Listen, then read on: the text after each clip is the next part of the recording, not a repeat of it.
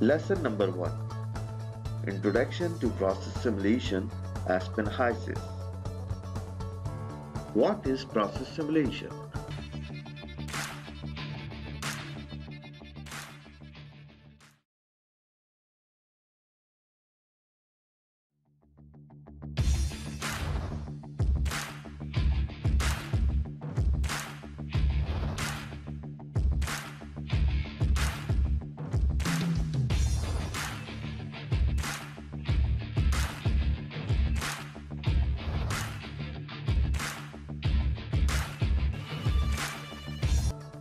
Process simulation is a model-based representation of chemical, physical, and other technical processes and unit operation in a software.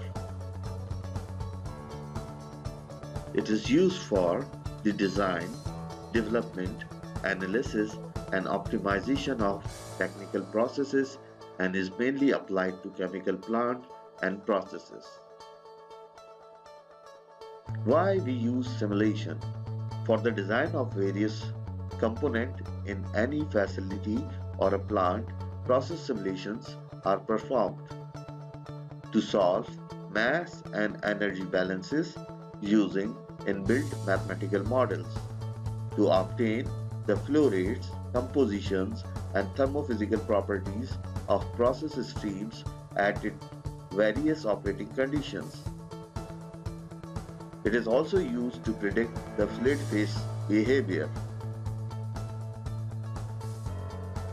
We can also use simulation software to detect abnormal conditions like formation of hydrates due to fall in pressure and temperature, fall in temperature below hydrocarbon or water dew point, flashing of liquid across control valve or drain valves, condensation of vapor due to cooling, latent heat data required at relieving conditions, temperature and pressure for safety valve sizing calculation, the time behavior of inventory stream during depressurization, minimum temperature during venting from high pressure to atmosphere, which may affect material selection upstream or downstream of the vent valve inclusive.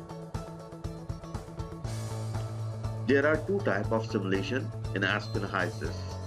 The first one is steady state simulation and the other one is dynamic simulation.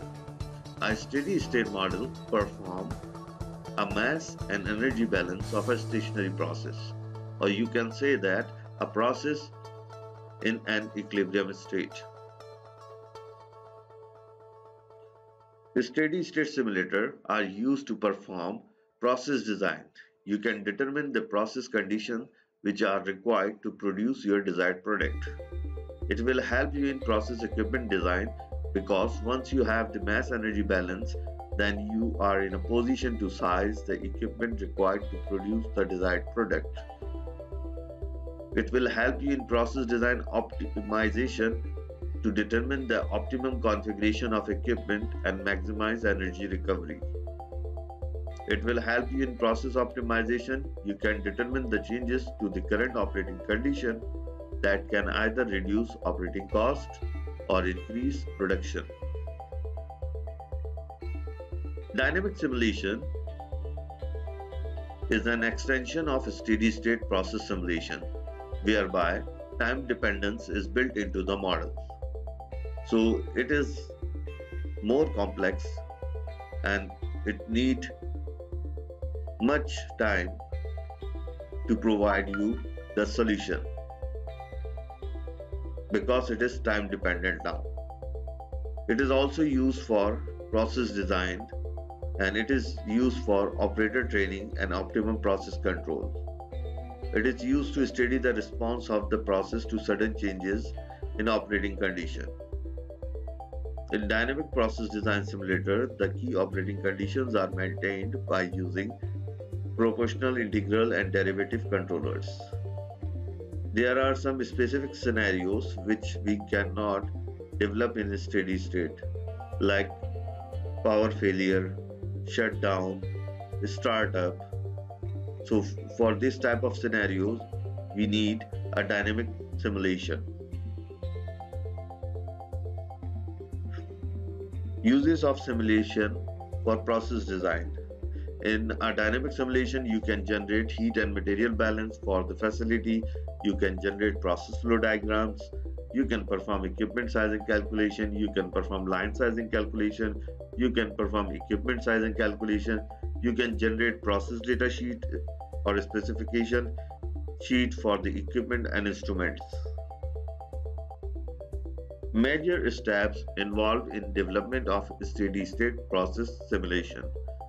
Use of this simulation software for chemical processing involves the following steps. First of all, you will select your component uh, like methane, ethane, propane, whatever you have in your then you will select the thermodynamic property package then you will construct the flow sheet specify the known stream and unit composition and condition, then you will run the simulation program and interpret whatever result you are getting. In many cases, simulation results do not reflect what is really happening in a plant. Why?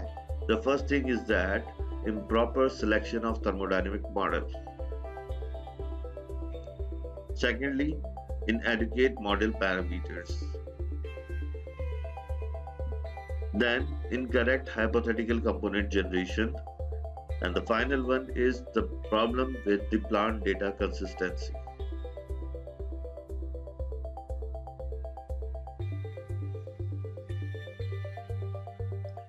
Selection of property package. Property packages, thermodynamic models are a specialized collection of methods for calculating the properties of components and values of parameter within the simulation. When you have established a component list, you combine the component list with the property package. The combination of the component list and the property package along with other simulation setting comprises the HYSYS fluid package. So property package plus component list will give you a fluid package. Use of thermodynamic models. Thermodynamic models are used to represent the phase equilibrium behavior and energy level of pure compound and mixtures system. HYSYS contain over 30 thermodynamic models. Aspen HYSYS provide over 16,000 binary interaction parameters by default.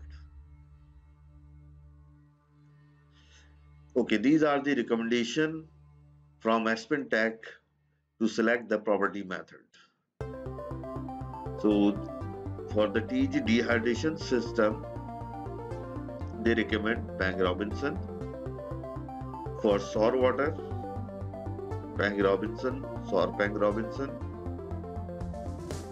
For cryogenic gas processing, Peng Robinson and Peng Robinson Stryjek-Vera. For air separation, the same Peng Robinson, Peng Robinson Stryjek-Vera atmospheric crude tower, Peng Robinson, Peng Robinson options, Grayson Streed model, vacuum tower, Peng Robinson, Peng Robinson option, Grayson Streed model if the pressure is above 10 mm of mercury. Otherwise, you can use Braun K10 or Esso K model. For ethylene tower, there is a special model Lee Kesler Plöcker for high hydrogen system, you have Peng Robinson, Zudkevitch or Grayson Streed model on the basis of temperature pressure limits. For reservoir system, you have Peng Robinson and Peng Robinson options. For steam system, you have a steam package, Chao Seader or Grayson Streed model.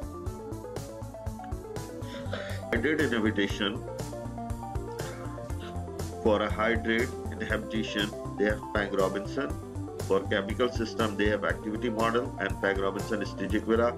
For alkylation, they have Peng Robinson Stryjek-Vera and non-random 2 liquid.